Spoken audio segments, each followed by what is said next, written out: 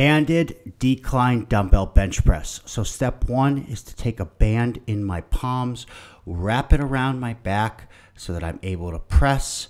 And then I'm going to grab my dumbbells and I'm simply going to get into a decline position. You can either do that by having a decline bench or elevating the spot where you put your butt on the bench. So I've used a box here to elevate a normal flat bench, but again, if you have a decline bench, you can use that. What this band is going to do is it's a progression of a traditional decline dumbbell bench because there's added tension to the top range of motion. I'm still going to use my traditional form while doing a decline bench in that I want my elbow to travel away from my body. I want to keep them slightly tucked in. I want to think about wrapping my shoulder blades around the bench.